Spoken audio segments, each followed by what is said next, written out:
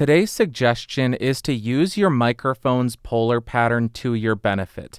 What I mean by that is the majority of popular microphones are cardioid, and that tells us that 180 degrees, or the rear of the microphone, is going to do the best job at rejecting noise. And in order to demonstrate that, I'm going to play some white noise through my studio monitor and show you how the placement of the microphone will affect how much of that noise it picks up.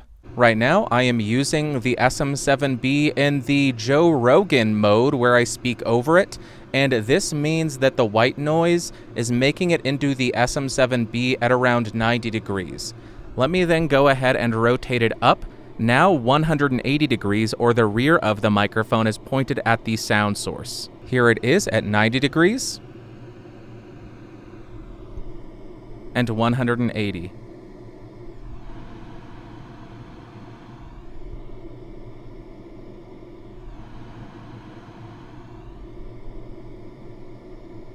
So, in summary, when you get your microphone, make sure you understand the polar pattern that you have, and then take account of the loud sound sources in your room and play the polar pattern to reject those sounds the best. Hopefully that helped. I'll see you next week. Bye.